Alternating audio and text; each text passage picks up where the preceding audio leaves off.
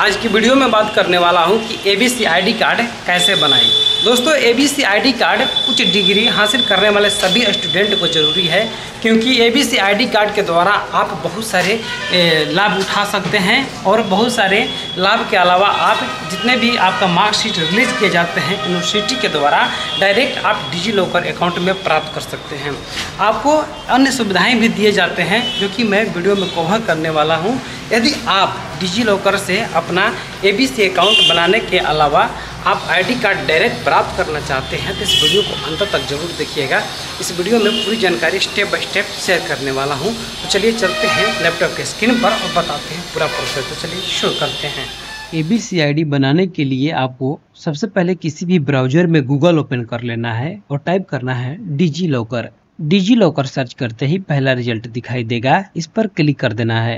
यदि आप वेबसाइट हिंदी के इस पेज पर आ जाते हैं तो भी आपको लिंक मिल जाएगा। इस पेज का लिंक वीडियो का डिस्क्रिप्शन में भी मौजूद है और कमेंट बॉक्स में भी पिन किया हुआ है। यहाँ पर देखिए, मिल जाता है ABC ID card official website. Click here पर क्लिक करेंगे तो भी यहाँ पर देखिए डिजी लॉकर का वेबसाइट ओपन हो जाएगा। ऑफिशियल वेबसाइट पर आप आ जाएँगे और यहाँ पर देखिए, आने के बाद साइन इन बटन पर क्लिक कर देना है।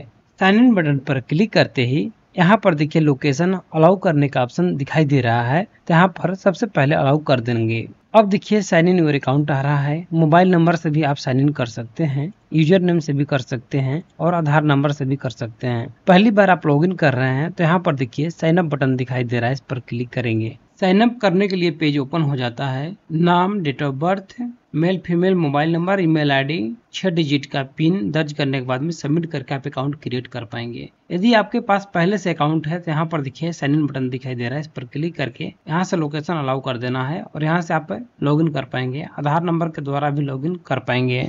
यहाँ पर मैं आधार से लॉगिन करने वाला हूँ तो आधार नंबर दर्ज करके नेक्स्ट बटन पर क्लिक कर देना है। यहाँ पर ओटीपी दर्ज करना है और सबमिट बटन पर क्लिक कर देना है। अब आपको यहाँ पर सिक्योरिटी पिन दर्ज करना है और सबमिट बटन पर क्लिक कर देना है। यहाँ पर देखिए academic bank of credit ABC ID create करने का ऑप्शन आ रहा है। तो ज्वाइन नाउ पर क्लिक करके आप एबीसी अकाउंट क्रिएट कर सकते हैं। यहाँ पर देखिए सर्च डॉक्यूमेंट पर क्लिक करना है। एबीसी सर्च कर देना है।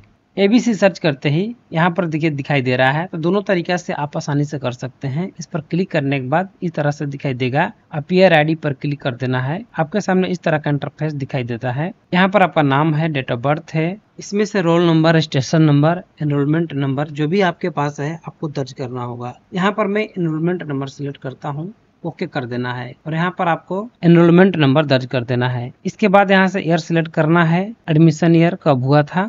इसके बाद ओके कर देना है। यहाँ पर आपको सिलेक्ट करना है कि आप किस कॉलेज के स्टूडेंट हैं। यहाँ पर देखिए, बोर्ड ऑफ़ सेकेंडरी एजुकेशन आ रहा है, तेलंगाना। इसके बाद यहाँ पर अन भी आ रहा है। बीके में टाइप किया तो यहाँ पर देखिए एस भी के पी आ रहा है। इस तरह से यूनिवर्सिटी आ रहा है। इसके बाद में ललित नारायण मिथिला यूनिवर्सिटी आ रहा है तो यहाँ से सिलेक्ट करके ओके बटन पर क्लिक करेंगे। यदि आपका यह यूनिवर्सिटी नहीं है तो यहाँ से फिर से सिलेक्ट करेंगे। यहाँ पर अन्य सिलेक्ट करेंगे। यहाँ पर देखिए इंदिरा गांधी में सर्च किया तो Indira Gandhi national open university आ रहा है, इस पर क्लिक कर देना है और ओके बटन पर क्लिक कर देना है। सभी डिटेल्स मिला लेंगे, सही होने के बाद गेट डॉक्यूमेंट पर क्लिक कर देंगे। यहाँ पर देखिए रिक्वेस्ट सबमिट हो जाएगा, इसके बाद में थोड़ा सा आपको वेट करना है, जिसके बाद सर्टिफिकेट आपको प्रोवाइड हो जाएँगे।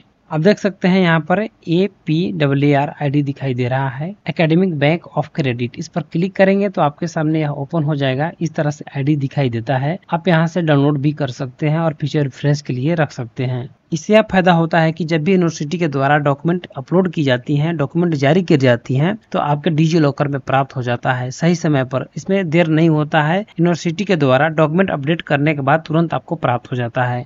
इसके अलावा बहुत सारे फ़ायदे हैं जो आप ऑफिशियल वेबसाइट पर जाकर चेकआउट कर सकते हैं। मुझे उम्मीद है कि अपडेट आपको पसंद आई होगी। इसी तरह से लेटेस्ट अपडेट प्राप्त करने के लिए चैनल को सब्सक्राइब कर लीजिएगा। तो मिलते हैं न्यू वीडियो में। धन्यवाद।